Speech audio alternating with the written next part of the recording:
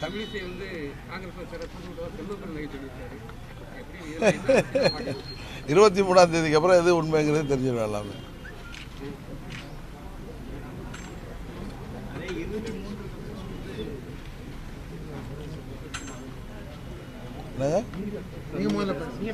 நான் ஒன்றும் பேசுறதில்லை நீங்கள் தாங்க இருபத்தி மூணாம் தேதி எல்லாம் தெரிஞ்சிருமே. ஆ. இருபத்தி மூன்றுக்கு அப்புறம் திமுக ஆட்சி மாற்றம் ஏற்பட்டு திமுக ஆட்சிக்கு வரணும் வந்து ஸ்டாலின் அவர்கள் அது அவருடைய ஆசை. ஆசையை சொல்கிறாரு மக்களுடைய எண்ணம் என்னங்கிறது இருபத்தி மூணாம் தேதி தெரிஞ்சிடும் நீங்களும் சொல்லியிருக்கீங்க எடப்பாடி எல்லாம் வீட்டுக்கு போயிடுவாங்க பழனிசாமி மறுபடியும் தேர்தல் வரணுங்கிறது தான் எங்களுடைய எண்ணம். அதுதான் தமிழ்நாட்டு மக்களும் இந்த ஆட்சி முடிவு கொண்டு வந்து மீண்டும் அம்மாவுடைய ஆட்சி அமைக்கணும் தான் ஆர்கே நகரில் எனக்கு ரெண்டாயிரத்தி பதினேழு டிசம்பரில் எனக்கு புரட்சித் தலைவருடைய நினைவு நாள் அன்னைக்கு எனக்கு வெற்றியை கொடுத்த அன்னைக்கு அந்த தேர்தலில் அவங்க சொன்னதே நான் அவங்களை கேட்டதுமே இந்த ஆட்சியை முடிவுக்கு கொண்டு வந்து மீண்டும் அம்மாவுடைய ஆட்சி அமைப்பதற்கு என்னை வெற்றி பெற செய்யுங்கள் அப்படின்னு கேட்டேன். அதுமாரி இந்த தேர்தலில் போகிற இடத்துல நான் அதானே கேட்குறேன். அதனால் இன்னொரு ஆட்சி அமைக்கிறது திமுகவுடைய ஆசையாக இருக்கலாம். அது வந்து நிறைவேறதுக்கு வாய்ப்பே கிடையாது.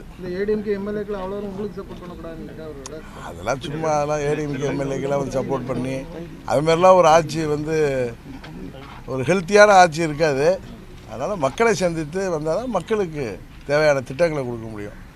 நம்ம அங்கே ஒரு கம்பெனி மாதிரி நடத்துறதுக்கான ஆட்சி தேவையில்லை. இந்த இடைத்தரத்தில் எல்லா அமைச்சர்களும் வாய்க்கு மாதிரி நிறைய பேர் பேசிட்டு இருக்காங்க. என்ன?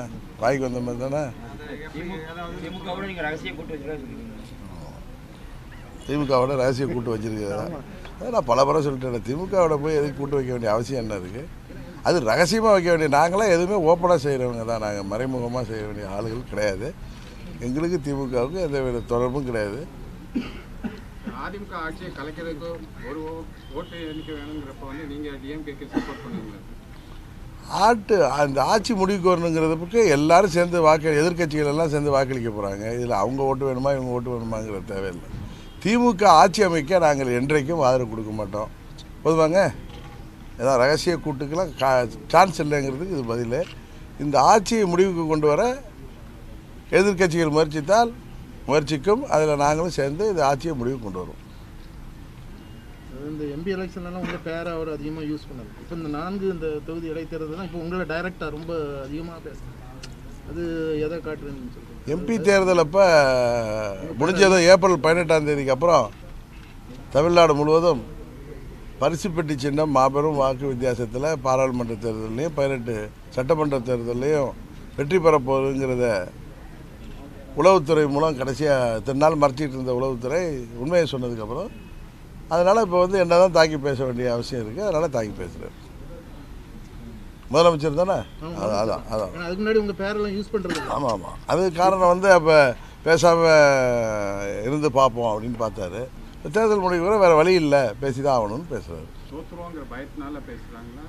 தோத்துட்டோங்கிற பயத்தினால தெரிஞ்சுக்கிட்டு பேசுகிறாங்க பயம் இல்லை தோத்துட்டோங்கிறத தெரிஞ்சுக்கிட்டு பேசுகிறாங்க முதல்வர் எடப்பாடிக்கு வந்து புரட்சி பெருந்தகைன்னு ஒரு பட்டம் கொடுத்திருக்காங்க. அதே நேரத்தில் அவருடைய ஆட்சியினுடைய சாதனைகளை இன்றைக்கு அறிக்கையாக வெளியிட்டிருக்கார் எப்படி அதாவது நான் அன்றைக்கி அந்த பட்டம் வந்தவங்க சொன்னேன் புரட்சி பெருந்தொகைன்னு கொடுத்தா நல்லா இருக்கும் அவருக்கு. புரட்சி தலைவரும் புரட்சி தலைவர் அம்மாவும் எங்கே? இந்த பிற புரட்சி பெருந்தொகை எங்கே? அப்படிங்கிறது மக்களே சிரிக்கிறாங்க இந்த பட்டத்தை பார்த்து. ஏற்கனவே கோயில்லலாம் இந்த சாமி பேருக்கு அர்ச்சனை பண்ணப்போ மக்கள் எப்படி எள்ளி நகையாடியார்களோ அதே மாதிரி இதையும் பார்த்து சிரிக்கிறாங்க. இந்த தேர்தலில் நிறைய பணம் செலவு பண்ணியிருக்காங்க. ஓட்டுக்கு மக்களுக்கு பணம் நிறைய கொடுத்துருக்காங்க. இருந்தாலும் அவங்கள பார்க்கும்போது அது அந்த ஓட் அந்த பணம் வந்து வெற்றியாங்கிறது எப்பயுமே பணம் வெற்றி பெற்றதாக சரித்திரம் இல்லை. அப்படி பார்த்தா ஆர்கே நகர் வந்து போன வருஷம் ரெண்டு வருஷம் முன்னாடி நடந்த ஆர்கே நகர் இடைத்தேர்தலில் ஓட்டுக்கு ஆறாயிரம் ரூபா ஆளுங்கட்சி கொடுத்து கூட முயற்சித்து கூட அவங்களால வெற்றி பெற முடியல. அதனால் பணத்தினால வெற்றி பெற முடியாது. வேணால் டெபாசிட்டை காப்பாற்றிக்கிறதுக்கு முயற்சி செய்வாங்க. அதுதானே பணம் தவிர இடங்கள்ல நிறைய வந்து இப்போ அந்த எக்ஸிட் போல்ல மக்கள் வந்து மாற்றி போட்டுக்கதாட்டு ஒரு இது வந்து அதாங்க பணம் கொடுத்ததுனால மக்கள் வாக்களித்ததாக சரித்திரம் கிடையாது. இனிமையும் வாக்களிக்க மாட்டாங்க. கமல்ஹாசன் இந்து விரோதின்னு சொல்லி நேற்று ராஜேந்திர பாலாஜி வந்து ஐஎஸ் தீவிரவாதிங்கிற மாதிரி பேசியிருக்காரு. அதாவது மத தீவிரவாதங்கிறது அது எந்த மதத்தை சேர்ந்தவராக இருந்தால் தீவிரவாதம்ங்கிறது கூடாது. அது ஒரு அழிவு சக்தி. அதில் போய் மதத்தின் பெயரெல்லாம் போய் சேர்த்து யார் பேசினாலும் அது தவறு. எந்த மதத்தையும் புண்படுத்துகிற மாதிரி எந்த மதத்தை சேர்ந்தவங்களை புண்படுத்துகிற மாதிரி இந்து மதத்தையும் சரி பிற மதங்களையும் சரி யார் பேசினாலும் அது தவறு. அதிமுக இருந்து அமைச்சர் கடம்பூர் ராஜு முதல் நபரா அமமுக சேரப்போறாரு தகவல் வெளியாகிருக்கு மே இருபத்தி மூணாம் தேதி கூட பாருங்களேன். கொஞ்சம் வெயிட் பண்ணுங்க பத்து நாள் தானே இருக்குது எட்டு நாள் தான் இருக்குது ஓகே இன்னும் ஒரு எட்டு நாள் வெயிட் பண்ணுங்க பிரதர் அது கூட தெரியும். வரேன்.